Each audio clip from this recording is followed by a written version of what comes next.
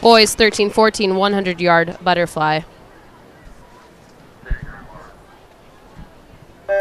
In lane one, Michael Salazar, Heartland. Lane two, Robert Guerra, Fallbrook. Lane three, Dashi Matsudo, Palo Alto. Lane four, your prelim leader, Justin Lynch, Terrapins. Lane five, RJ Williams, Sierra Aquatics. Lane six, Riley Hickman, Davis, Aquadarts. Lane seven, Cooper Burrell, Almaden. And in lane eight, Anthony Yang, Flying Fish.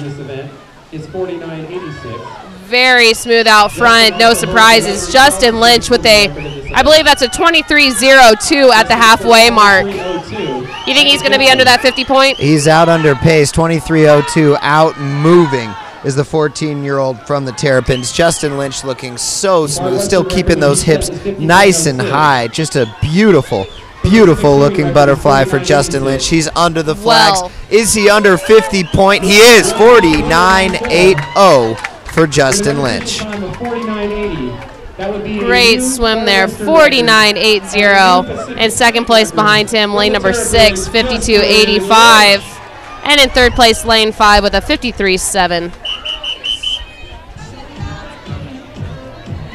Like you said, not many swimmers in their swimming career can make it under that 50 point. And here, as a 13 14 boy, Justin Lynch already well under 50 point with a 49.80. 19. It's your girls.